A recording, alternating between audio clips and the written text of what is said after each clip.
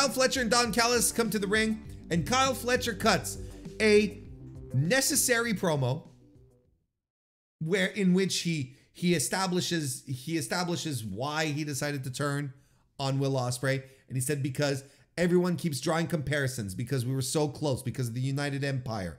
They always kind of saw me as your little bro kind of thing. He didn't say that specifically, but that that was the vibe of the of the promo. He said, "So I had to distance myself from you, like what you did with Okada in New Japan. He brought you in. You he was your little bro. What did you do to this to to break apart, to break away from Okada and be your own man? You had to turn on him." And I'm like, "This is all good. This is all good. Good content, great stuff." But on top of it, on top of the good content, he is delivering this promo like a champion.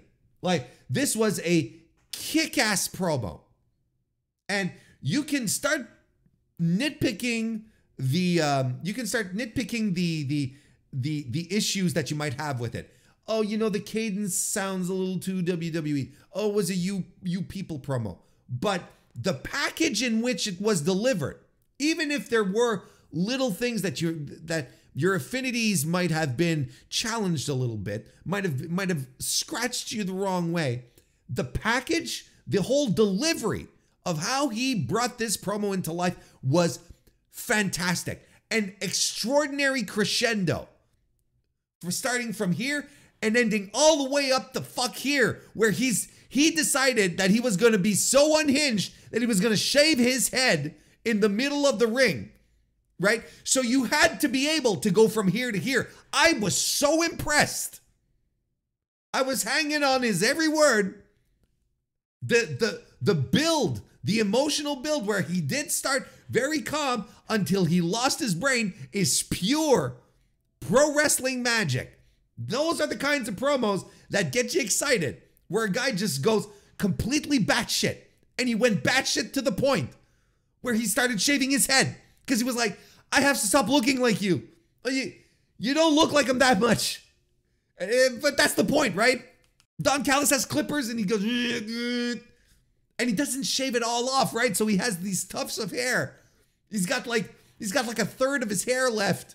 It's tremendous. He looks completely unhinged. Scream.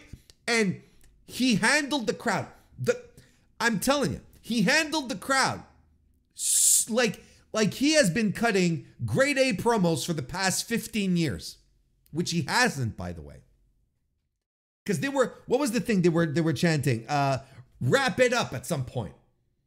And Kyle, he stops talking, turns around to address the audience, and says, I something to the effect that I am I am using time that was bought by Don Callis. So, you know, shut up, I'm going to be here for a while. And I'm like, this was perfect. Because he could have just turned around and said, shut up, you, you know, uh, you know, he could have, he could have just said, uh, uh, uh, shut up, you Utah geeks or whatever, you know, go back to your multiple wives, you, you know, whatever.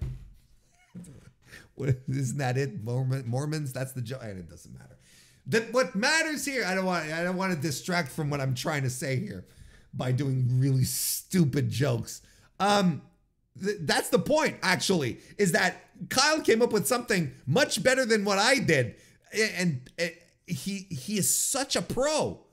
Like, what has happened to Kyle Fletcher in this year? We have been talking about for a long time on on on on this podcast how Kyle Fletcher had all the tools to be a, a, top guy and that was entirely up to him to decide right it was entire like he has all the tools, but it depends on his effort. What is he going to do to to to to establish himself as a top guy?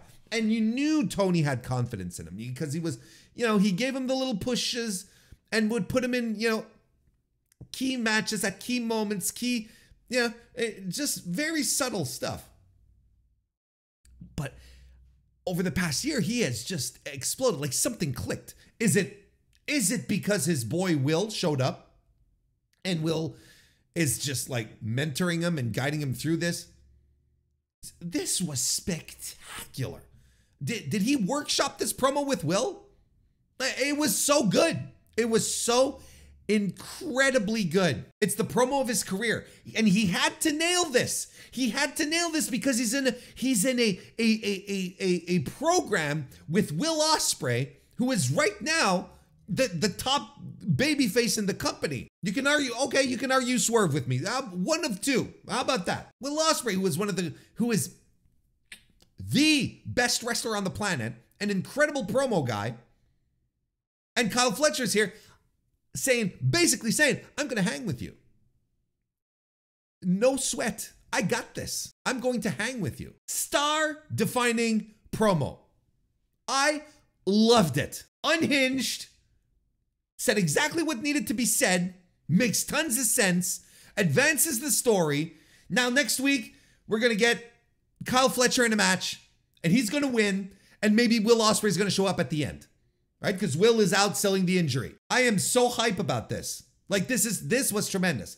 I I don't know if I I, I don't know. Again, if you find some faults that irritate you, that I I get it, but the ex like technically and to a sense, right? Maybe it didn't agree with you, but the delivery here was so impressive. If if the AEW if the WWE cadence bothered you, uh, I, don't worry because he delivered it in a way that in a, in a way that they would have never let him deliver that promo in WWE. It was not that at all.